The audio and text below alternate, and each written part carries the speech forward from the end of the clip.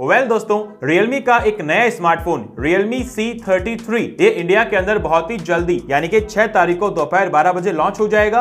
और ये स्मार्टफ़ोन दोस्तों ज़्यादा महँगा नहीं है बारह हज़ार रुपए का स्मार्टफ़ोन है। और Realme का C33 ये दोस्तों लुकिंग के अंदर डिस्प्ले के अंदर इन्होंने काफ़ी अच्छा काम किया है लेकिन परफॉर्मेंस में कैमरा के अंदर इन्होंने काफ़ी जिगजैग रखा है। तो चलिए दोस्तों बात करते हैं Realme C33 के बारे में। देखते हैं कि Realme ने बारह हज़ार रुपए के अंदर यहाँ पर क्या कुछ पैकेज तैयार किया है। सारी जानकारी Realme C33 के बारे में। जय हिंद दोस्तों, मेरा नाम है दीपक और आपका स्वागत है एंड्रॉइड गुरु में। अगर आप चैनल पर नए हैं unboxing review comparison give away के लिए चैनल को सब्सक्राइब कीजिए बेल आइकन कॉल पर सेट कीजिए ताकि आने वाली वीडियो आप तक सबसे पहले पहुँच जाए।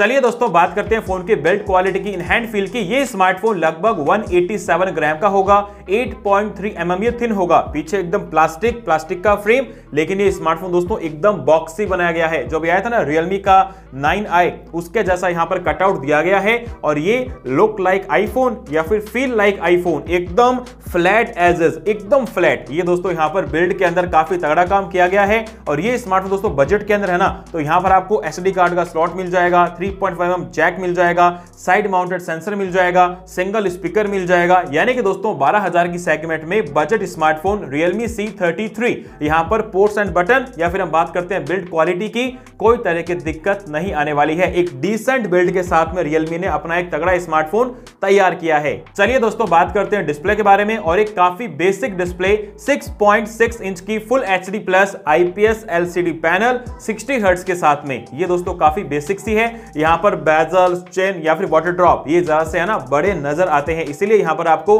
83% का स्क्रीन टू बॉडी रेशियो मिल जाएगा। 400 ppi की पिक्सल डेंसिटी और इसी के साथ में 400 निट्स की आपको ब्राइटनेस पीक दी गई है। 444 काफ़ी आ गया ना। ये डिस्प्ले दोस्तों, अगर हम बात करते हैं मीडिया वॉचिंग की कंटेंट वॉचिंग की, आपका एक ठीक ठाक काम यहाँ पर करवा देगी। बाकी दोस्तों, ये डिस्प्ले बजट के हिसाब से थोड़ा सा डाउन है। अगर इसे 90 हर्ट्ज कर दिया जाता तो और अच्छा काम यहाँ पर हो सकता था, लेकिन फ़िलहाल आपको ना, एक ठीक ठाक एवरेज क्वालिटी निकाल के दे देगी। चलिए दोस्तों, बात करते हैं परफॉर्मेंस के बारे में स्पेक्स के बारे में। ये स्मार्टफ़ोन कंटेन करेगा यूनिसॉक का T612 जो कि दोस्तों काफ़ी ज़्यादा बेसिक सा है। 1.8 गीगाहर्ट्ज तक इसकी पीक क्लॉक स्पीड जाती है। और अगर हम बात करते हैं वेरिएंट्स की, तीन जीबी का, चार जीबी का, यहाँ पर दोस्तों वेरिएंट मिलने वाला है। आज के टाइम के अंदर भी तीन जीबी का वेरिएंट ये दोस्तों पता नहीं कहाँ एग्जिस्ट कर पाएगा। हाँ ये अच्छी बात है कि ये स्मार्टफ़ोन आपको एंड्रॉइड 12 पर मिलेगा, लेकिन प्री इंस्टॉल्ड ऐप ब्लॉटवेयर ये आपको दिए जाएँगे दोस्तों, क्योंकि रियलमी का स्मार्टफ़ोन है ना, और बारह हज़ार का है तो ये चीज़ें दोस्तों आना आम बात है, लेकिन हाँ आप इन्हें होपफुली अनइंस्टॉल कर सकते हैं। ये स्मार्टफ़ोन दोस्तों डेली लाइफ के अंदर कॉल करना है, मैसेज करना है व्हाट्सअप चलाना है फेसबुक इंस्टाग्राम ट्विटर इनके लिए काम कर देगा। लेकिन मैं इसे हायर यूज़ के लिए या फिर गेमिंग के लिए बिल्कुल भी रिकमेंड नहीं करूँगा। ये स्मार्टफ़ोन दोस्तों सिर्फ़ आपका एक डेली लाइफ का काम करवा देगा। Unisoc T 612 Realme C thirty three के अंदर। चलिए दोस्तों बात करते हैं कैमरा के बारे में। और कैमरा दोस्तों अगेन 12000 के अंदर काफ़ी ठीक ठाक से हैं। 50 मेगापिक्सल्स का मेन सेंसर और 2 मेगापिक्सल्स का कोई अदर सेंसर ठीक है, और 8 मेगापिक्सल्स का सेल्फी कैमरा यहाँ पे दोस्तों 8 का सेल्फी कैमरा या फिर हम बात करते हैं 2 मेगापिक्सल्स का अदर सेंसर ये आपका रियल लाइफ के अंदर उतना बेहतर काम नहीं कर पाएँगे। एक मेन सेंसर 50 मेगापिक्सल्स का, ये आपको 12000 के जैसी क्वालिटी निकाल के दे देगा। 4K ये तो दोस्तों यहाँ पर होना नहीं है, बहुत ही सीधी सी बात है। यहाँ पर आपको FHD 30 frame per second recording मिल जाएगी। और कैमरा दोस्तों, देखिए सेंसर हमारे सामने और हमें पता है दोस्तों कि 12000 के अंदर आपको एक डिसेंट कैमरा क्वालिटी ही मिलती है। एक बढ़िया कैमरा क्वालिटी नहीं मिल पाएगी, लेकिन हाँ जो भी है, जैसा भी है, आपको मेरी तरफ़ से इसकी लॉन्च के बाद में कंप्लीट कैमरा टेस्टिंग देखने को मिल जाएगी।